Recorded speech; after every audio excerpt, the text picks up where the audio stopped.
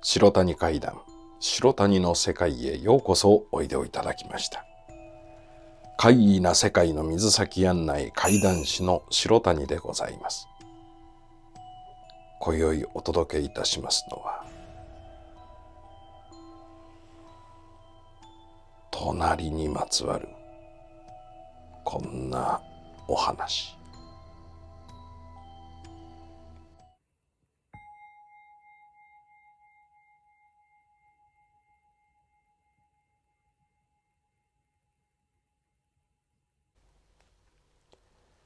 秋深し隣は何をする人ぞという有名な俳句がございます。お隣さんは何をしていてどんな人が住んでいるんだろう。昔も今も興味が湧くというところについては同じようでありますが剛さんという男性の場合はまるでも想像もしなかったようなお隣事情があったようで。剛さんからこの話を聞かせていただいたのはもう随分前のことになります。私の怪談話を聞いていただいた後いくらかお酒に酔った風でとろんとした目をこちらにじっと向けて小さく手招きしますんでね。何でしょうと伺いましたらどうしようかな。今まであんまり人に話してきてないんだけどさってその当時で私の印象は30代だったんですが今思い直してみますとひょっとして四十の坂はすでに超えてらしたのかもしれません。この剛さんという方は学生時代どちらかというと不良の口であまり授業には顔を出さずにあちらこちら遊んで歩くというような毎日をお過ごしだったそうで。それが今度通っていた大学の学部で仲良くなった悪友の一人に健一さんと、まあ、仮にそう呼ばせていただきますが同い年のご友人ができた。馬があったんですよ。馬が。正直ね何がきっかけで付き合い始めるようになったかまではよく覚えてないんですよね。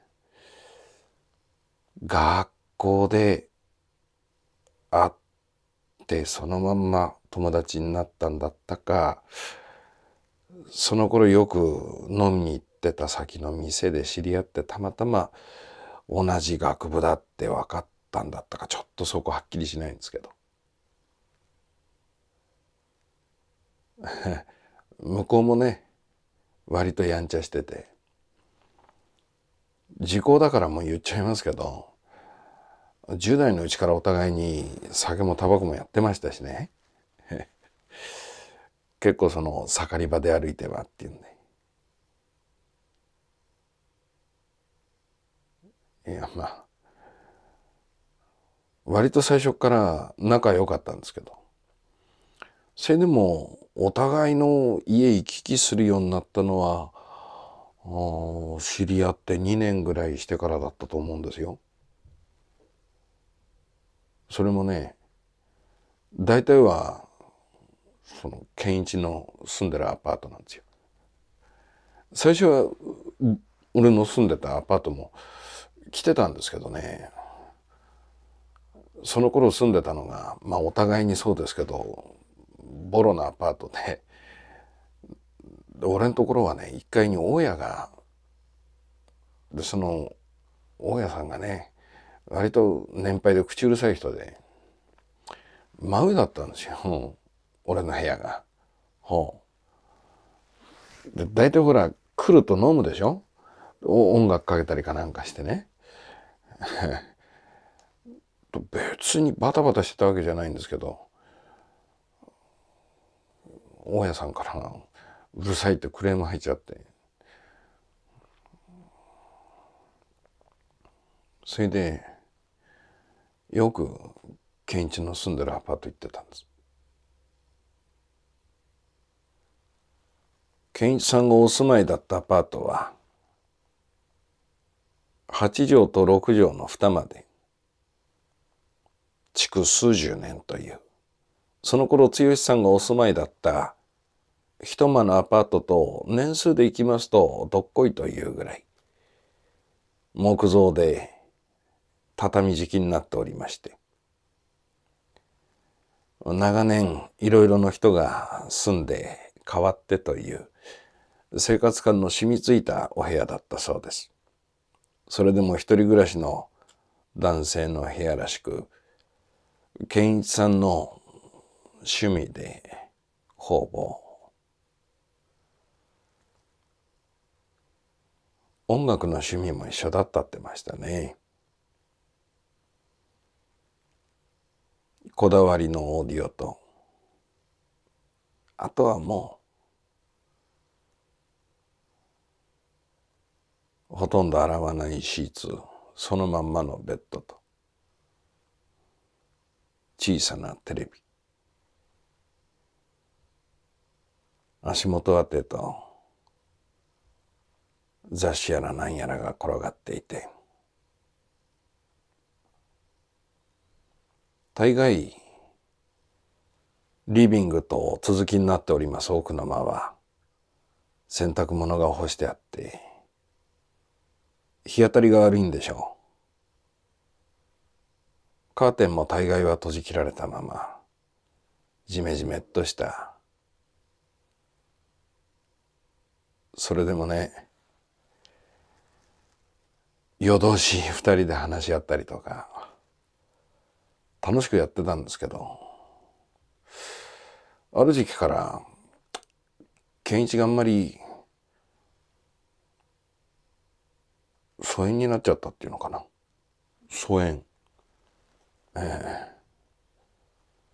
なんかちょっと避ける風な感じがあってね。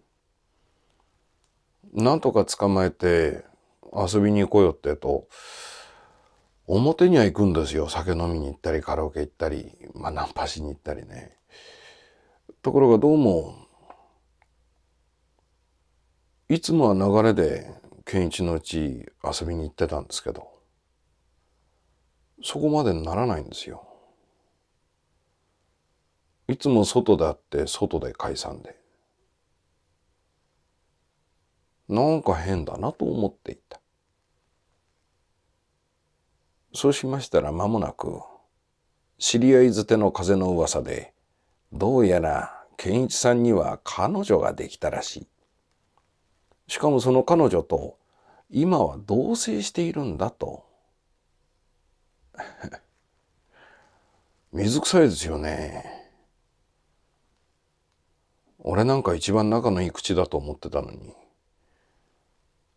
俺にそのこと黙ってたんですよ、健一が。なんで黙ってたんだよって問い詰めたら、いや、ごめん。別にさ、黙ってるつもりもなかったんだけど、なん照れくさいじゃん。何がだよ、お前。全然言ってくれればいいのによ。え？どうなの？うまくいってんの？あ、まあね。どんな感じ？え、どんな感じって？いやだから相手の彼女。いいよ。仲のいい男同士であります。好いた女性ができたとなればこれは野暮だなってんで。え今度は剛さんの方で少し距離を取っていたそうですが、またそのうちにどうやら健一さん彼女とはダメになっちゃったらしいと。確かにそんな話が聞こえてきたぐらいのタイミングから、健一さんからな遊びに行こうというお誘いが増えていたそうで。それでも噂は噂ですし、かといってしつこく相手の女性のことを聞いてもなというのがありますから、そしらの顔を表であって表で解散を繰り返していたそうですが、その日はたまたまお酒の周りがよろしかったんでしょう。いいだけ酔っ払ったけれどお互いにもう少し話し足りないなとなった時に健一さんの方から「今日うち来る?」おえいいのおいいよ全然ああ、じゃあ久しぶりだから行こうかな。でも、いいかな大丈夫か大丈夫大丈夫。全然平気だよ。言われるままに、健一さんのうちに再び足を踏み入れた。入ってすぐに、ああ、あの噂は本当だったんだと分かったそうです。散らかってましてね、部屋の中。あ、そうですか。とてもじゃないけど、女の人と同棲してるっていう風はないんですよ。別れたって聞いてましたけど、そもそも彼女なんかいなかったんじゃないかなと思って。ははお前んち久しぶりだな。寒あ、何飲む？お？いや、何でもいいよ、適当に。あ、そうか。じゃあ、ちょっとそこ座って待ってて。そう言うと、健一さんは、火の気のない部屋ですが、奥の台所の方へととっとっとっとと姿を消した。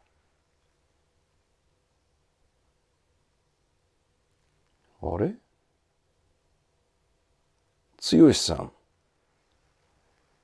普段開け放たれております。次の間の襖が閉じ切られているのに気がついた。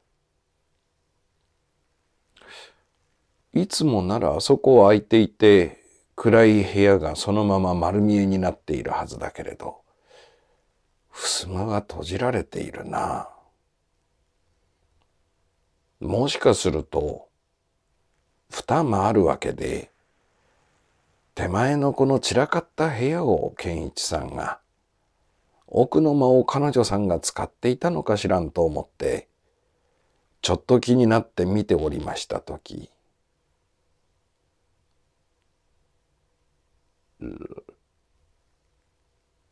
え？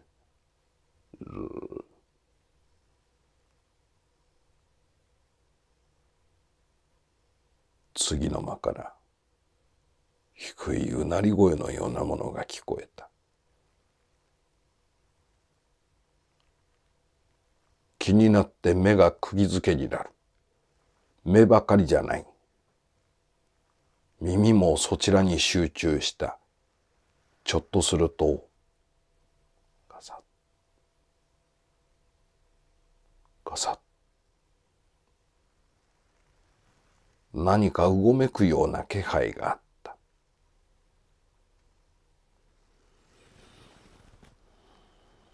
最初は彼女がいて寝てんのかなって。でもその低い声っていうか大丈夫ですか？ああそれが聞こえた時になんとなくちょっと違うんじゃないかなと思って。ガサガサガサガサなんかその隣の部屋で動いてるような音はするんですけどね。そのうちに寒い季節だったのになんで暖房もつけずにいるのかなって気になったり。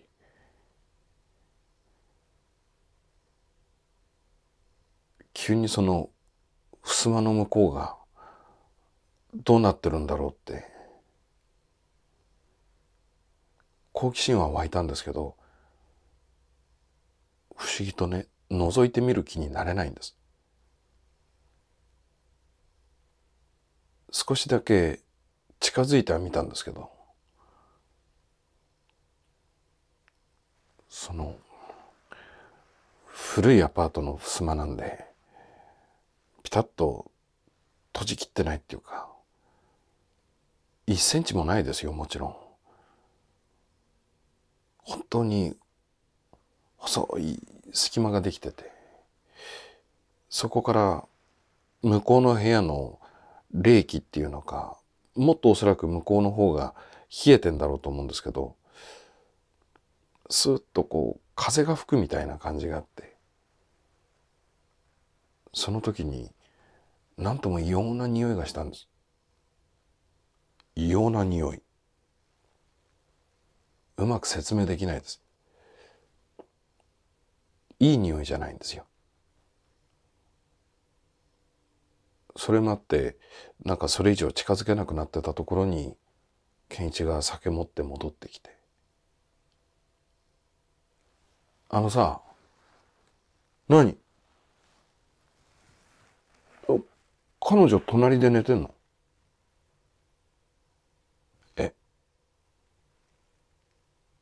健一さんの表情が一瞬こわばったのはその時すでに気づいたそうですが。彼女別れたから？あ別れたの？誰かいるんじゃない？いないよ。なんで？いやさっきさそっから音聞こえたけど。ああえっとね犬飼ってんだよ犬。犬？ここ犬飼っていやダメなんだけどさ捨てられててかわいそうでさお大家さんに内緒なんだよ。内緒で飼ってんの？うんそうそうそう。あ気になる？気になるかおとなしいんだけどな。うん？そうだ。彼女と別れてさやっぱりちょっと寂しくてさ。ああそうなんだ。いいつから飼ってんの？いやまだ最近だけ。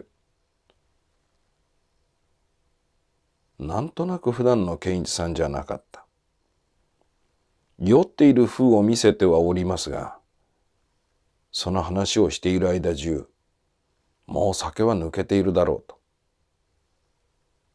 いつになくせわしなくそしてまた非常に饒舌に話をしていたそうです。えー、そうなんだ。え、何飼ってんの？え、何雑種？ああ、そうなんだ。え、俺犬好きなんだけど、見て、あ、やめた方がいいよ。えいや、まださ、拾ってきたばっかりだし、あの、予防接種とかもしてないからさ、うん、今静かだけど、わかんないよ。噛みついたりするかもしれないしさ。そうかなだって、もう静かだぞ。うん。いいよいいよ。今日ほら、久しぶりにさ、うち来たんだしさ、飲もうよ。あ、うん。気にすんなって。ただの獣だよ、獣。そんな言い方すんなよ、お前。だって自分で拾ってきたんだろ。いや、まあそうなんだけど。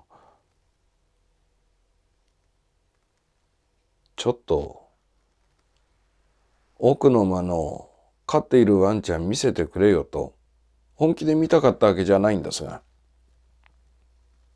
健一さんの動揺っぷりは顕著だったそうです。そうこうしているうちに、あの隣の間から流れてきた嫌な匂いが、こちらの部屋にもいっぱいになってきまして、まだ電車のあるギリギリの時間でしたからその日は止まらずに剛さんお帰りになったそうです。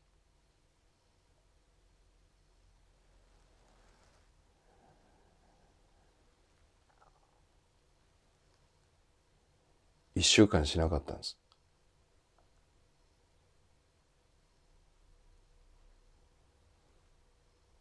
健一。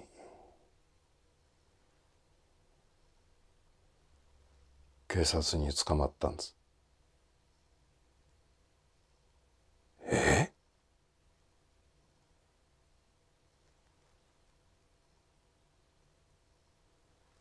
健一の住んでたあそこのアパートの。今お話しした襖の向こうの部屋。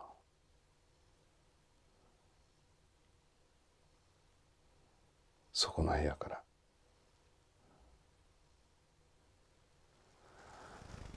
女性の遺体が見つかったんです。えそれが噂になってた彼女なのかどうなのか。そこまでは分からずじまいなんですけど。それじゃあ剛さんが聞いたその声とガサガサ言う音って彼女さんだったんですかね？ええ。きっとそうだったでしょうね。おそらくすでに。生きてはいなかったんですけど。剛さんの表情が一瞬ピリッと硬くなった。生きていなかった。はい。見つかったご遺体。見つかった時はすでに。45か月経ってたって言いますから。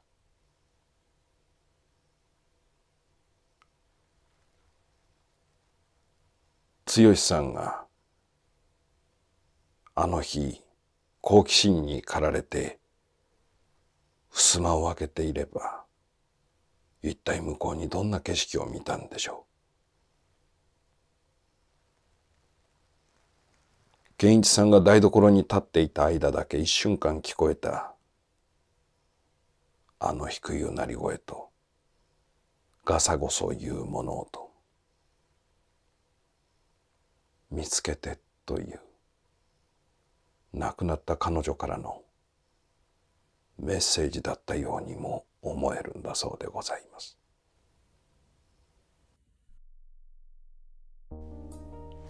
わっ！